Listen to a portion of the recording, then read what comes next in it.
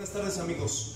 Hoy me siento muy halagado de tener aquí a un gran luchador de leyenda, un luchador que brilla con luz propia, un integrante, integrante muy importante en la fundación del trío Fantasía, Hola, el tardes. rey de los payasos, Super Pinocho. Muchas gracias, mujeres, muchas gracias a esa gente que nos va a ver ahí.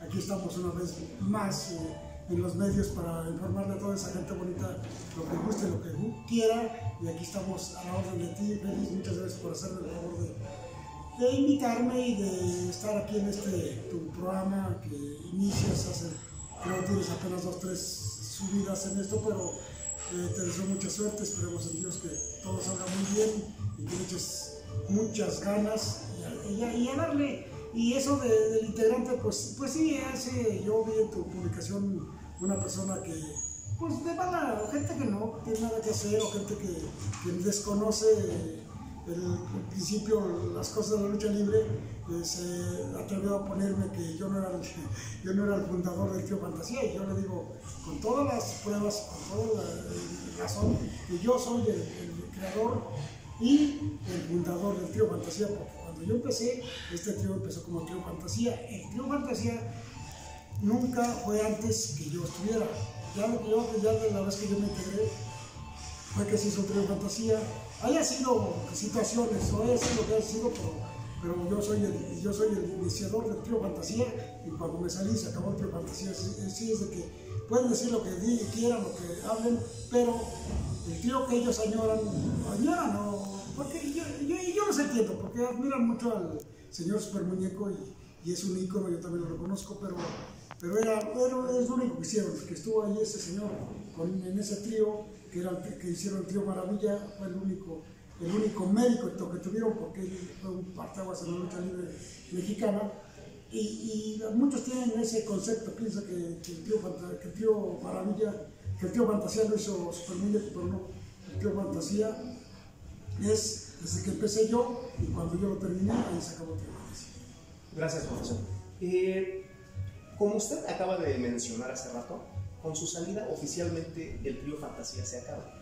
¿Cuáles fueron sus motivos para abandonar este trío? Bueno, fue un, ya la gente lo sabe y te lo voy a decir a ti, fue un- a raíz de que ya no soportaba ya Super Muñeco. Super Muñeco, ¿qué es? Un gran luchador, un gran icono en la lucha libre, pero siempre quería imponer, imponer su, su modo de ver la lucha libre, su modo de ser. Y yo desde que empecé la lucha libre fui rudo y, y siempre me sentía yo amarrado, porque había veces que me enojaba ya cuando ponía aficionado, y yo, yo, no, yo no me quedo callado, yo les contestaba, y luego me decía, nos van a agarrar de rudos, y dice, pues, ¿qué me importa, no? Pero sí, entonces un- hace ya tres años, el Benito Juárez, se equivocó ya que teníamos casi vendidos a los payasos, entonces el señor vino y me pegó un antebrazo en, el- en la mera manzana, casi me asfixia. Y ahí ya se vino todo el coraje y todo, y lo empecé a golpear. ¿Cuál sería mi sorpresa, Félix? ¿Y cuál sería mi, mi decepción de los aficionados? Que le empezaron a golpear en vez de que pues, dijeran, qué bueno que estás estando, me empezaron a golpear y es- No, pero eh, de alguna manera ahí salió su temperamento. Sí, lo personal rudo. Eh, es muy difícil esconder lo que nosotros traemos a pues, tarde o temprano sale. Sí, Y usted en ese momento, pues, su temperamento rudo salió a flote. Fíjate que respeté mucho ese concepto, como tú dices, ese concepto lo respeté en- entre comillas, porque digo, siempre yo el que primero Pero respeté el concepto porque fue creado para los niños, fue creado un concepto bueno, de, de buena, de, de buen, de buen de buen llaveo, de buena técnica. Entonces lo respeté y, y dio resultado, dio resultado, tanto que casi 10 años, bendito a Dios, fuimos los más taquilleros en toda la República Mexicana. Es cierto. Este, sobre todo, sobre todo las, las parejas, tercias o, luchadores, y ya me se llama. O sea, les mucho a la gente, pero eso fue. Y, y se respetó el concepto, y yo en ese momento pues, no quería yo traicionar a la gente, porque en ese tiempo sí estaba bien dividido quién era un rudo y quién era un, técnico. Ahorita ya pero en esos tiempos. Indudablemente, una de las mejores tercias que ha habido en la lucha libre mexicana. Eh, una de las mejores. Eh, obtuvieron máscaras, campeonatos, cabellera. Eh, pero a partir de que se da, se finaliza este trío, ¿usted estaría dispuesto a jugarse la máscara con los dos de sus compañeros? Mira, el reto no me interesa. El que sí eh, la máscara es este, Super no, no, no, figura en mis planes. El muñeco sí, si me cansa el, el, el, ego, un día me agarra el kamikado. Sí, pero te voy a decir una cosa que les he dicho a toda la gente, a todos que me gustan. Mira, eh, una, eh, hay dos cosas que, que podrían hacer que, que, que, que me juegue la máscara con. La primera que en una lucha me, humillara, me hiciera como trapeador.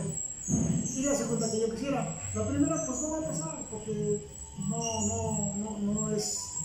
En este momento él no es pieza para mí, quizás porque soy rudo, quizás para que sea. Es pieza en el sentido de que sí me da batalla, que sí es muy bueno. Pero en un máscara contra máscara, estoy seguro que le gano. Este, es muy bueno el muñeco, es un, un tipo este, que lo ves inofensivo, pero es un rival muy duro, de muchas mañas. Es, inclusive pues, es mañoso, es, fue rudo también, este, pero no creo que me gane. Tiene mucho colmillo. No, es un, es un viejo lobo de mar, pero no, no, no creo que me gane. Y te digo, este, también habría condiciones. No, no me jugaría la máscara con el señor en una arenita chiquita. No por menospreciar a los amigos. Simple y sencillamente porque somos seres humanos de egos. Bueno, aparte son luchadores de jerarquías, este, luchadores mexicanos internacionales.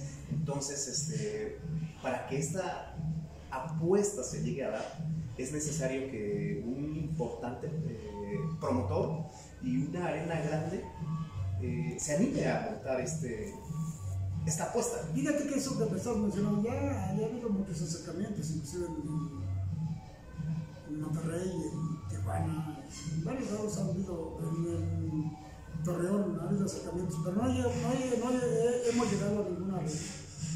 Ojo promotores. ¿El por qué? Ahí está el reto. Yo les, voy a decir el por qué. Porque es que son muchas condiciones, Pero la primera es eso, que el en una lucha normal o donde nos encontramos me golpee. Mira, inclusive la gente a lo mejor no sabe que yo dos veces lo he mandado al hospital.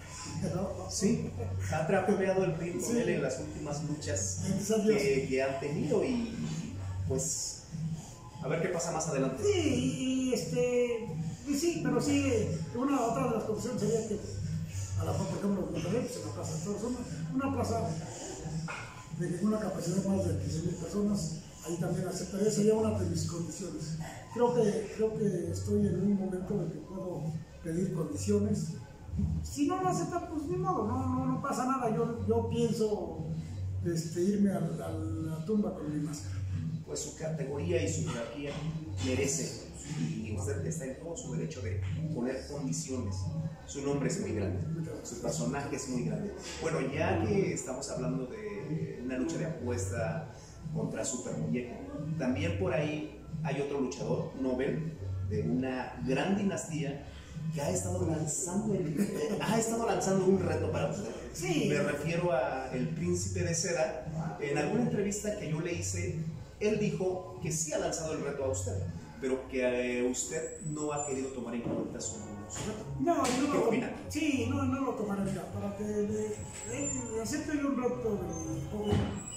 es, la primera es eso, que algún día me, me pudiera, este, me pudiera humillar y, pues, por desgracia, eh, le, he ganado hasta en dos caídas al hilo, entonces imagínate. Sí, otra, otra cuestión sería que, pues por lo menos que triunfara, no sé, en la Arena México en A, bueno, eh, pues imagínate, ya en, en, el momento que nos enfrentáramos, diría, diría la gente, pues va a agarrar pichón, se va a vender. Ya ves que hay tantos aficionados que se creen, sí, que se creen este. Y entonces no, no quiero darle, cortar más a la lucha, porque como te vuelvo a repetir, estoy seguro que gano, entonces al estar ya seguro que gano, pues la gente va a decir, ya no compraste Santiago, entonces ya, desgraciadamente ya no tendría ningún valor para mí eso. Sí, claro.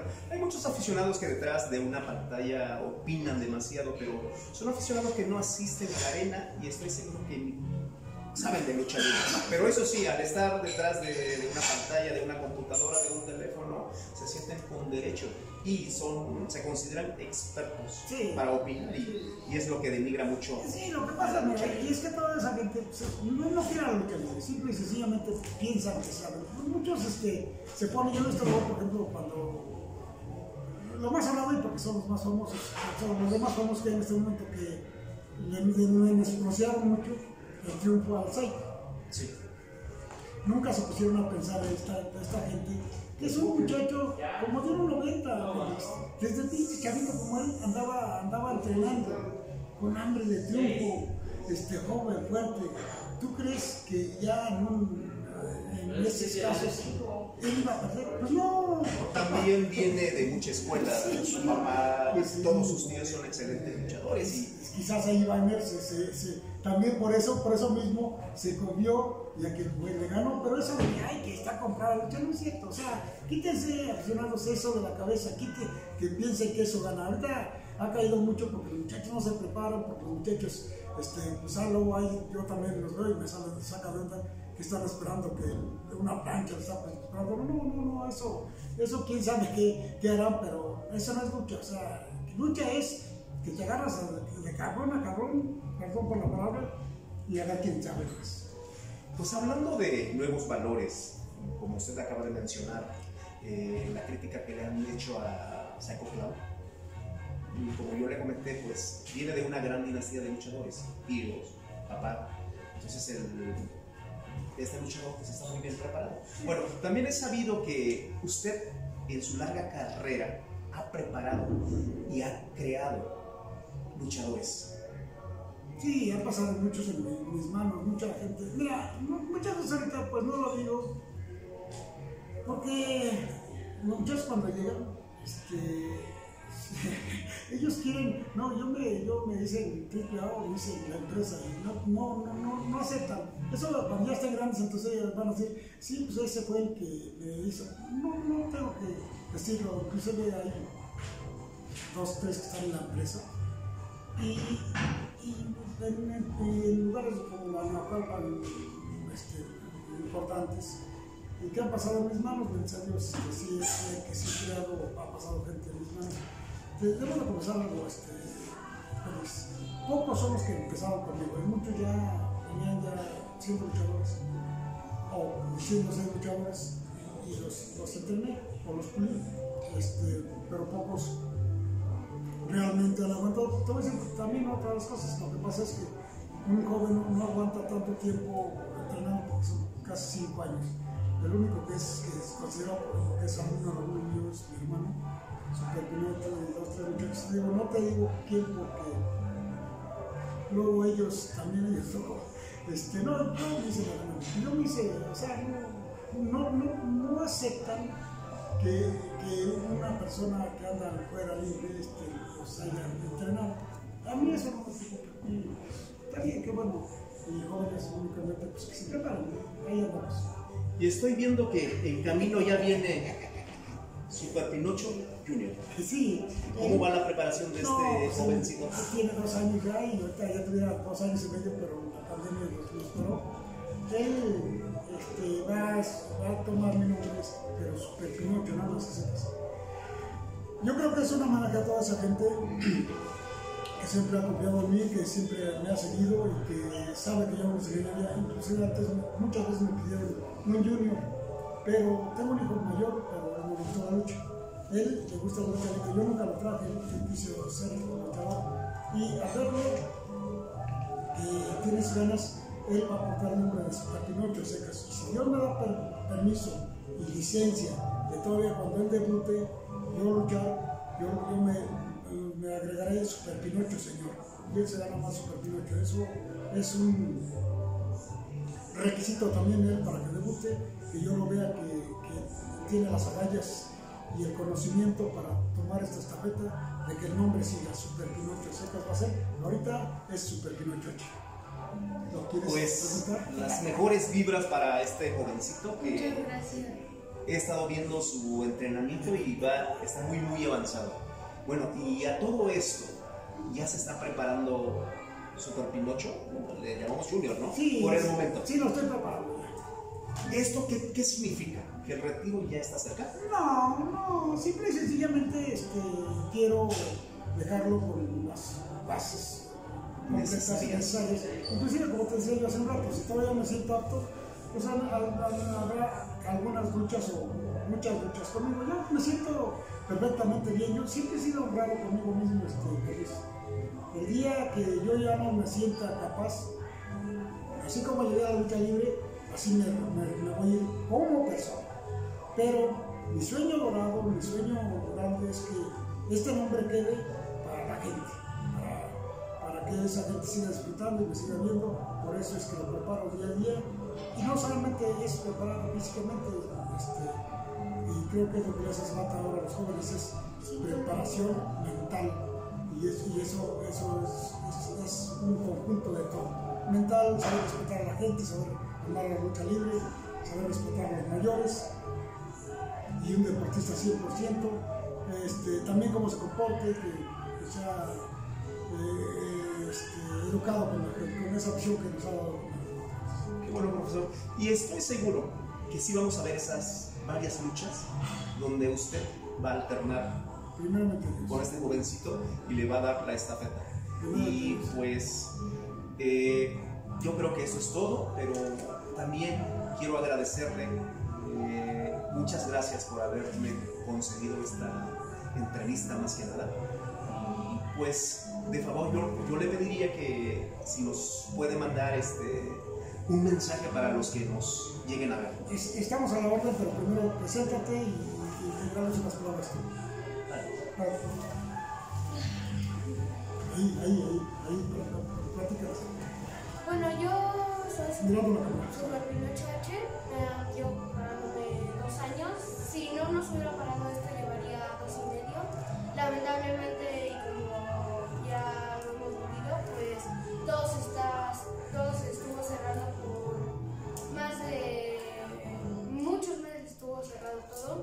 Hasta apenas estos momentos de escaso tiempo de poder entrenar y prepararse.